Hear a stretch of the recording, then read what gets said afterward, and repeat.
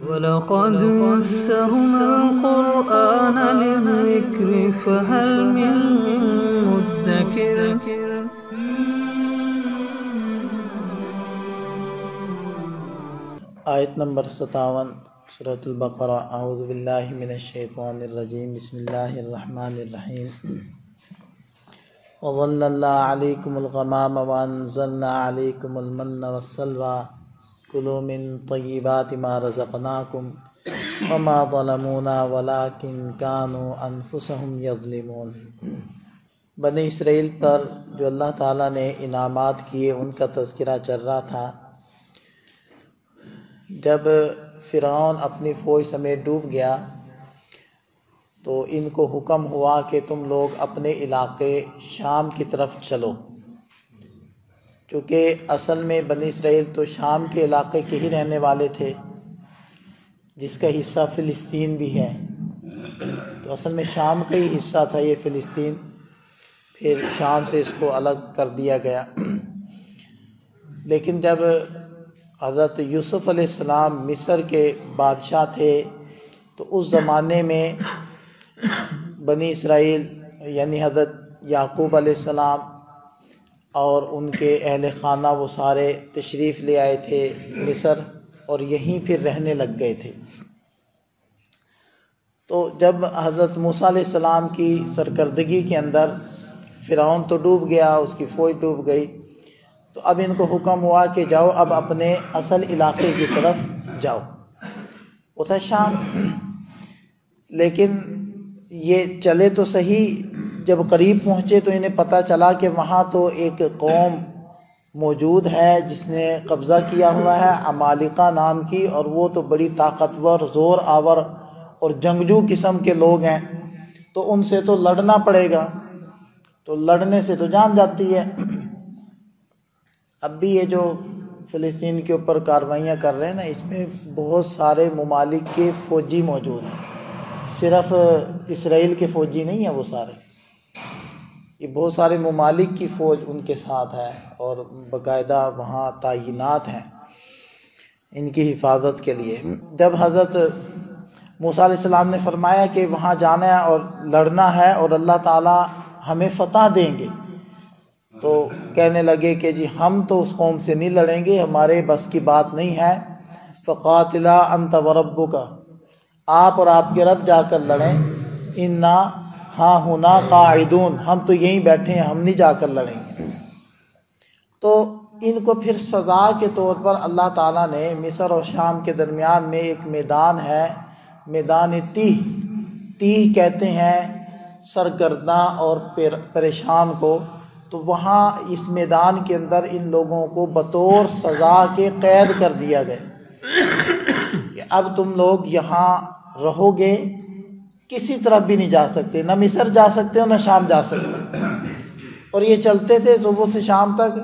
शाम को जहाँ पड़ाव करते थे, सुबह जब उठते थे तो वहीं होते थे जहाँ से चले थे।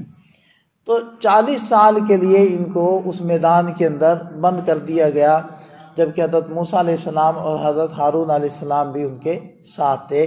और इसी मैदान के अंदर ही रहते हुए हज़रत मूसा सलाम की वफ़ात हो गई थी।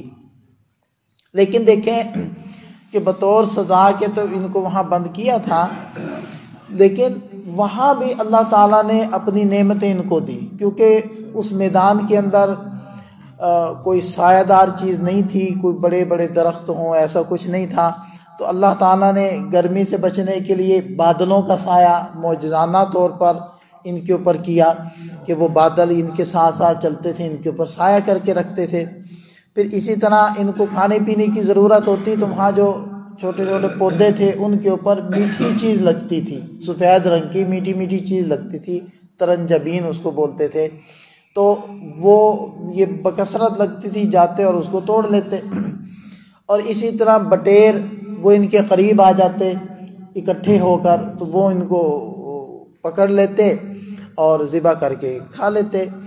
इसी तरह इनको लिबास की ज़रूरत होती तो इनका लिबास पुराना नहीं होता था, फटता नहीं था, मैला नहीं होता था और इनके बच्चों के साथ साथ वो लिबास बड़ा होता रहता था। ये सारी नेमतें अल्लाह ताला ने इनको दी। और फिर साथ में ये भी इशाद फरमा दिया था कि रोज़ाना का खाना आपको मिल जाया करेगा, कुछ भी संभाल कर, उठा कर रखने की ज़रूरत नहीं है।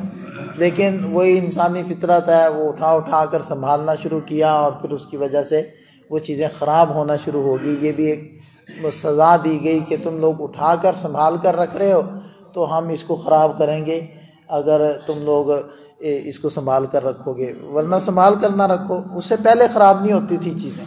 खैर संभाल कर छुपा छुपा कर रखना तो हमने भी नहीं छोड़ा तो हमने उसका हल निकाल लिया कि हम फ्रिज बना लेंगे। लेकिन संभाल कर रखना नहीं छोड़ेंगे। तो अब देखें आयात को।